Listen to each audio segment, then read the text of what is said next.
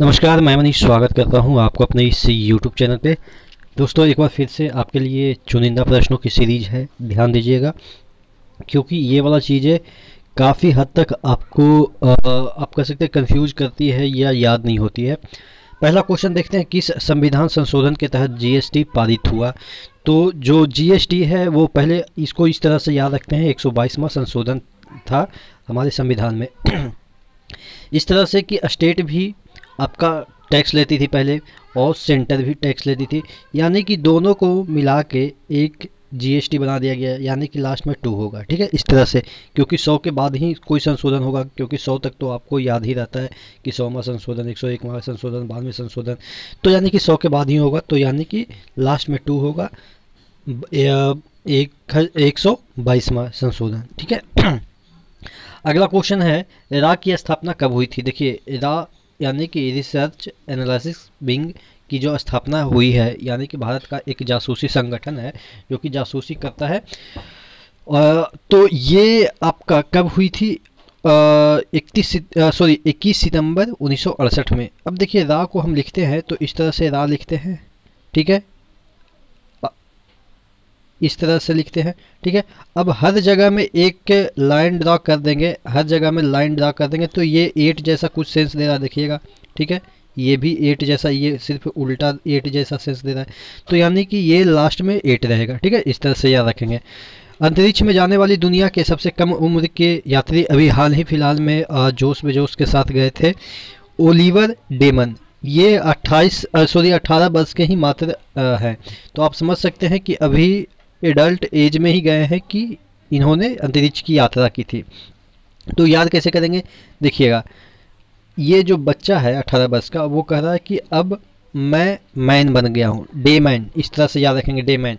तो यानी कि अब मैन बन गया तो वो अंतरिक्ष में जा सकता है, बच्चा को तो नहीं ले जा जा सकता है, ठीक है, लेकिन अब ये अठारह वर्ष का बच्चा मैन बन गया है तो इस तरह से वो जा सकता है, ठीक है?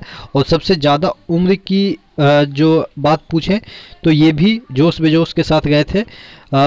जे ये जो बेजोस हैं ब्लू बर्ग कंपनी के मालिक हैं या अमेजन के मालिक हैं, उनके साथ ये गए थे। बेली फंक, याद कैसे करेंगे कि फंकी खा के, फंकी आप या कह सकते हैं चूरन खा के ये जवान हो गए और 80 साल की उम्र में, हालाँकि अब लोग 80 साल बच नहीं पाते हैं और ये 80 साल की उम्र में अंतरिक्ष में गए थे, ठीक है? अगला क्वेश्चन है, प्रणति नायक का संबंध किस खेल से है? तो प्रणति, प्रण कब करते हैं? जब हमारा शरीर बीमार हो जाता है या कुछ ऐसा हो जाता है तो कहते हैं ना कि हम अब जिम जाएँगे और शरीर बनाएँगे। तो यानी कि जिम्नास्टिक से प्रणति नायक का संबंध है। बाल्टिक देशों में कौन कौन से आते हैं? बाल्टिक देश में तीन देश आते हैं। बाल्टिक एक सागर है, ठीक है? और बाल्टिक सागर के पूरब में जो तीन कंट्री इससे लगे हुए हैं, वहीं बाल्टिक देश है, ठीक है? उसके बाद ये पूरा रसिया है। तो आप समझ सकते हैं कि ये यूरोप का जो देश है, बाल्टिक सागर के पूरब में जो तीन देश लगे हैं इस बाल्टिक सागर से, उसे कहते हैं कौन कौन से जो कंट्री हैं? लिथुआनिया लताविया और एस्टोनिया याद करने का तरीका देखिए इया इया ठीक है? इया इया तीनों में होगा। यहाँ पे इया है, ठीक है? निया इया है इया है, फिर इया है, ठीक है? तो यानी कि बाल्टिक देश में इया इया है, ठीक है? इस तरह से याद रखेंगे। ओलंपिक का ध्येय बाकी क्या है? देखिए, पहले होता था ओलंपिक का ध्येय बाग सीटरस एल्टीएस फोर्टियस इसका मतलब होता है फास्टर हायर स्ट्रोंगर। लेकिन जो आपका ये जापान ओलंपिक हो रहा है 2020 ही ओलंपिक कहला रहा है। हालाँकि ये हो रहा है 21 में लेकिन 2020 ओलंपिक है क्योंकि ये 2020 वाला ही है। यानी कि पिछला जो साल का है वही ओलंपिक हो रही है। तो इसमें एक नया वाक्य जोड़ दिया गया आ, ये बर्ड जोड़ दिया गया सॉरी कॉम्यूनिटर। इसका मतलब होता है कॉमन यानी कि टुगेदर। ठीक है इस तरह से याद रखेंगे कॉम्यूनिटर का मतलब होता है कॉमन यानी कि कॉमन मतलब टुगेदर। ठीक है और एल्टीएस सी टी एस और फोर्टी का मतलब तो समझा ही दिया। तो ये आपके जो ध्येय वाक्य है, अब ओलंपिक के C D S L T S forty S कम्युनिटर ठीक है? ये चारों मिलकर इसका ध्येय वाक्य बनाता है।